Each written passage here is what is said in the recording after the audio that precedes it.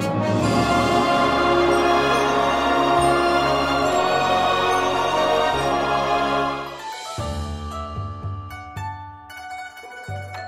mừng quý khán thính giả đến với chương trình Radio Chánh Kiến. Hôm nay chúng tôi hân hạnh giới thiệu đến quý vị phần thứ 19 trong loạt bài đàm luận về trinh quán chính yếu. Trong các tập trước, chúng ta đã điểm qua về chương 1 và chương 2 của trình quán chính yếu, vốn xoay quanh việc quân thần Đường Thái Tông thực hành đạo làm vua, làm quan, cũng như nền chính trị nhân đức trong tập này, chúng ta sẽ cùng nhau khám phá nhận thức của họ đối với lễ, cách họ định ra chế độ và quy phạm lễ nghĩa cụ thể thông qua chương 7 mang tên Luận Lễ Nhạc. Dưới thời trị vì của đường Thái Tông, Trung Quốc được công nhận là lễ nghĩa chi bang, được toàn thế giới ngưỡng mộ. Vì vô cùng kính ngưỡng Trung Quốc, nên Nhật Bản đã hơn 10 lần phái sứ giả đến nhà đường để học tập kiến trúc Trường An cũng như văn hóa và chế độ lễ nghĩa của triều đường để rồi mang về Nhật Bản mà kết hợp với phong tục tập quán của dân tộc họ từ đó phát triển nên điều mà ngày nay chúng ta vẫn gọi là văn hóa lễ nghi Nhật Bản. Có thể thấy, dân chúng thời đường ai ai cũng xem trọng lễ nghĩa. Trong tâm có đạo, người người đều trọng đức hành thiện, cử chỉ rộng lượng. Như thế quốc gia mới có được sự tôn quý và vinh diệu của việc được cả thế giới ngưỡng mộ và noi theo. Vinh quang của Đại Đường kỳ thực bắt nguồn từ việc Thái Tông theo tôn chỉ chính trị nhân đức, mà dùng lễ giáo hóa bách tính, hay nói cách khác là lễ giáo toàn dân. Lễ giáo thực chất là việc các vị vua thời cổ đại lấy bản thân mình làm gương để định ra những hành xử cụ thể nhằm tu dưỡng đạo đức thế nhân chiếu lệnh về phương diện chế độ lễ nghi mà thái tông ban bố đã thay đổi một số phong tục trừ bỏ những tập tục xấu không hợp lý. Quy chính đạo làm người thiện hóa nhân tâm. Các thay đổi đều dựa trên những kinh điển mà các bậc đế vương hiền triết thời xưa truyền lại đều là những sửa đổi hợp tình hợp lý để thi hành. Đồng thời Thái Tông còn lấy bản thân làm gương cho dân chúng, bắt đầu từ chính ông và các con, làm gương cho muôn dân trong thiên hạ. Điều này khác hẳn với cách mà văn hóa của Đảng Cộng sản Trung Quốc vẫn luôn miêu tả về lễ giáo, vốn ác ý bẻ cong và bóp méo lễ giáo, thành cổ hủ và áp đặt. Thực tiễn thì hoàn toàn trái lại, bản thân lễ giáo chính là niềm hãnh diện của nền văn hóa truyền thống Trung Hoa Người hiện đại ngày nay hễ nghe về lễ giáo thì quả thực là như sét đánh ngang tai. Mọi người hầu như ai cũng né tránh. Trải qua mấy chục năm phê phán, bóp méo, người dân Trung Quốc đã không còn biết được như thế nào là lễ giáo chân chính nữa. Dường như trong ấn tượng của mỗi người chỉ còn cách nghĩ cho rằng các bậc đế vương, tướng lãnh, quan lại và các tài tử giai nhân thời xưa ai ai cũng đều là những kẻ tranh quyền đoạt lợi, âm mưu thâm hiểm.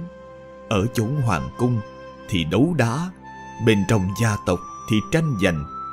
Mô tiếp quen thuộc là các diễn viên sẽ khoác lên mình những bộ y phục cổ trang, sống trong những ngôi nhà cổ, diễn nên những vai diễn kịch tính, khiến người ta ngộ nhận rằng đó là diện mạo chân thực của người thời xưa. Thực ra, đó là đem một bộ âm ám trong mối quan hệ giữa người với người các thủ đoạn chỉnh trị người khác cách làm ích kỷ cực đoan do đảng cộng sản trung quốc tạo ra mà gán lên cho cổ nhân kết quả của sự tuyên truyền mang tính dẫn hướng này là quan niệm sai lầm rằng con người ai cũng chẳng đáng tin. Mọi người đều là tranh danh, đoạt lợi, dối trá hữu bại, ngang ngược, bạo tàn. Từ lịch sử xa xưa, đã chẳng có người nào tốt lành.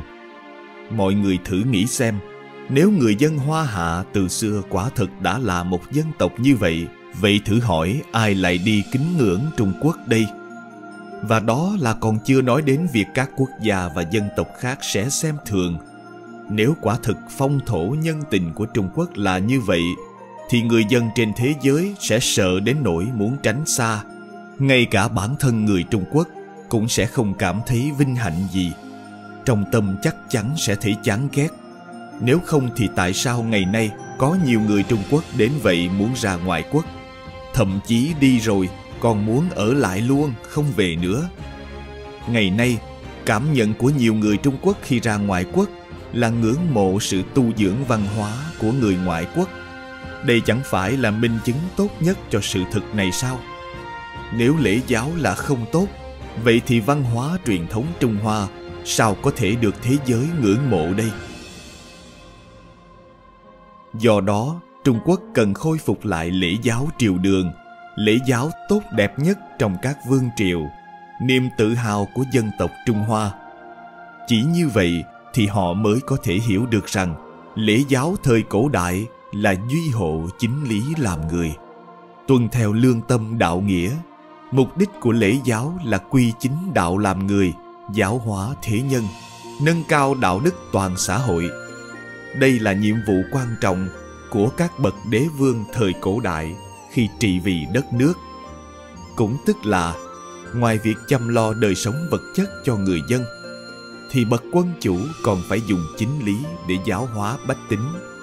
Vì thế, Thái Tông đã lấy bản thân làm gương, gánh vác trách nhiệm tu dưỡng đạo đức để quy chính con người. Đây mới là dụng ý và nguyên do thực sự lễ giáo xuất hiện thời cổ đại. Trong chương Luận lễ nhạc của Trinh Quán chính yếu, chúng ta thấy rõ rằng quân thần Thái Tông đã nhiều lần thảo luận và đưa ra những nhận thức rất lý tính về lễ. Đồng thời, những chiếu lệnh mà họ đã ban, chế độ hiếu hỷ đã định, quy định về tước vị và lễ tiết trong gia đình đều dựa trên việc tham khảo những sách vở kinh điển thời xưa.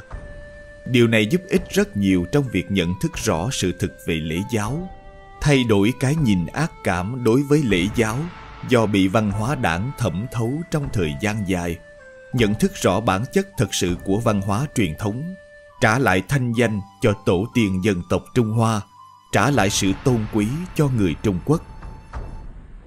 Trước tiên chúng ta hãy xem Thái Tông lấy bản thân làm gương bắt đầu từ chính gia đình ông ra sao. Đoạn thứ sáu của chương Luận Lễ Nhạc có một phần thuật lại việc công chúa gả vào gia đình nhà quan trong triều. Như bao bách tính bình thường khác, con gái vua đã tuân theo nền nếp nhà chồng ở nhà cũng phụng dưỡng và đối xử trọng hậu với cha mẹ chồng cách hành xử đó đã trở thành quy định lễ tiết đối đãi với cha mẹ chồng của các công chúa đại đường đoạn văn này viết kính trực con trai của thượng thư bộ lễ vương khuê lấy con gái của đường thái tông là công chúa nam bình vương khuê nói sách lễ ký có lễ tiết con dâu bái kiến cha mẹ chồng. Nhưng từ thời cận đại đến nay, phong tục bại hoại, khi công chúa xuất giá, lễ bái kiến cha mẹ chồng đều bị phế bỏ. Bệ hạ thánh minh, mọi việc đều tuân theo pháp lệnh. Ta nhận lễ bái kiến của công chúa, há lại lấy đó làm vinh cho mình, chỉ lấy đó làm giai thoại để tác thành cho mỹ danh của nước nhà mà thôi. Thế là ông cùng phu nhân ngồi lên ghế trên của cha mẹ chồng để công chúa đích thân đến hành lễ dân thức ăn, cầm khăn chờ cho cha mẹ rửa tay ăn xong thì mới thoái lui. Thái Tông nghe nói về việc này liền khen hay. Từ đó về sau, hễ có công chúa gả đi thì đều phải tuân theo lễ tiết này để phụng dưỡng cha mẹ chồng. Đoạn văn này đã cho thấy rằng khi con trai của Vương Khuê thành thân với công chúa, ông đã công khai nói như vậy trước mặt công chúa và tất cả mọi người trong nhà để họ hiểu rõ dụng ý trong việc làm này của ông. Đó không phải là không tuân theo lễ tiết quân thần để cố ý thất lễ với công chúa, mà là một đạo lý rất đơn giản. Nếu công chúa đã gả vào một gia đình thường dân, thì chính là một thành viên trong gia đình thường dân mà đã là thành viên trong gia đình thường dân thì không thể dùng lễ nghi của quốc gia để đối đãi công chúa lúc này đã là phận làm con dâu trong nhà nên cần phải tuân theo đạo đức nhân luân của một gia đình phổ thông kính trọng trưởng bối, làm tròn đạo hiếu của con dâu, phụng dưỡng cha mẹ chồng bằng lễ tiết tương xứng. Đây mới là đạo lý làm người của bậc con cháu trong nhà. Mỗi triều đại có quy định cụ thể về hành vi và nghi thức khác nhau về lễ, nhưng mục đích và cơ điểm đều là để bảo vệ, giữ gìn đạo đức nhân luân. Con dâu là bề dưới, do vậy cần biết tôn kính bậc cao niên và bậc trưởng bối trong gia đình, thể hiện truyền thống kính già yêu trẻ của người dân Trung Hoa. Việc thần tử dám ngồi lên ghế trên của cha mẹ chồng để công chúa đích thân hành lễ đã chứng tỏ một cách sâu sắc rằng họ biết Thái Tông là một vị quân chủ nhân đức hiểu rõ đạo lý. Họ cũng thấm nhuần quy tắc về lễ của đại đường, hoàn toàn thuận theo đạo lý được chế định từ các kinh sách thời cổ đại. Cho nên với tư cách là thượng thư bộ lễ, Vương Khuê là người đầu tiên phải thi hành và ông nói vậy là để tâu với Thái Tông rằng thần làm thế là tuân theo chính lý của kinh sách mà làm là thay cho bệ hạ thực thi lễ nghĩa chân chính. Tự thân công chúa mà làm tốt thì cả nước ắt sẽ trên làm dưới theo. Cách hành xử của công chúa Đại Đường có tác dụng làm điển phạm giáo hóa dân chúng. Tiếng lành này tất sẽ truyền ra muôn nơi, được mọi người khen ngợi và hậu nhân kính ngưỡng. Vậy nên mới nói, uy danh của Đại Đường chính là ở chỗ hoàng gia và triều đình đều có thể lấy mình làm gương, tuân theo lễ tiết xưa, giữ vững đạo đức luân lý. Nhờ thế mới có được đất nước phồn vinh. Khi Thái Tông hay tin vợ chồng Vương Khuê ngồi lên ghế trên của cha mẹ chồng cho công chúa đích thân bái kiến, ông không những không cho rằng đó là thần tử mạo phạm công chúa mà đã rất vui vẻ tán đồng. Vì thế, Thái Tông đã biến điều này thành quy định thống nhất của quốc gia. Mỗi công chúa đều phải thực hiện. Công chúa khi xuất giá cần chịu theo lễ tiết đó mà hành xử, giữ trọn đạo làm dâu, phụng dưỡng tốt cha mẹ chồng. Mục đích là nêu gương cho nữ giới trong thiên hạ, khởi tác dụng giáo hóa để dân chúng hiểu được việc tôn kính người già.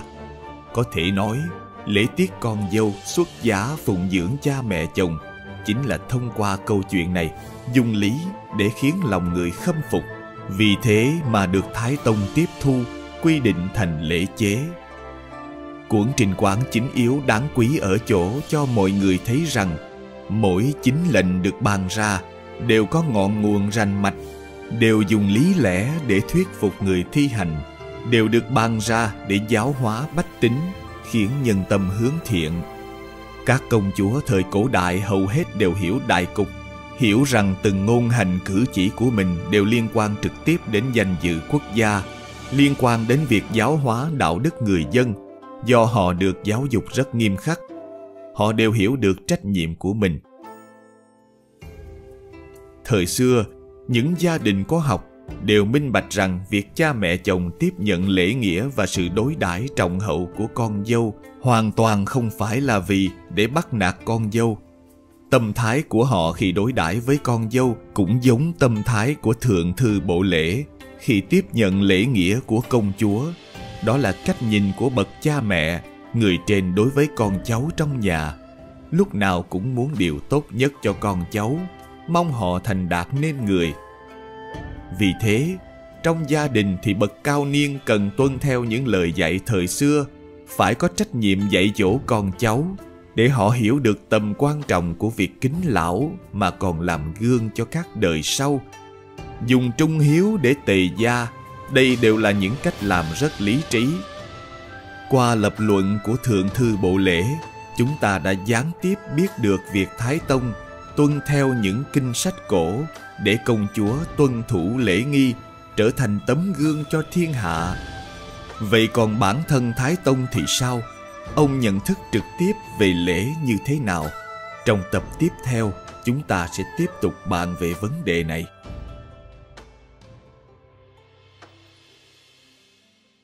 Cảm ơn quý vị đã lắng nghe, quan tâm và đăng ký kênh Radio Chánh Kiến. Chào tạm biệt và hẹn gặp lại quý khán thính giả trong chương trình lần sau. Kính chúc mọi điều bình an và tốt lành đến quý vị và người thân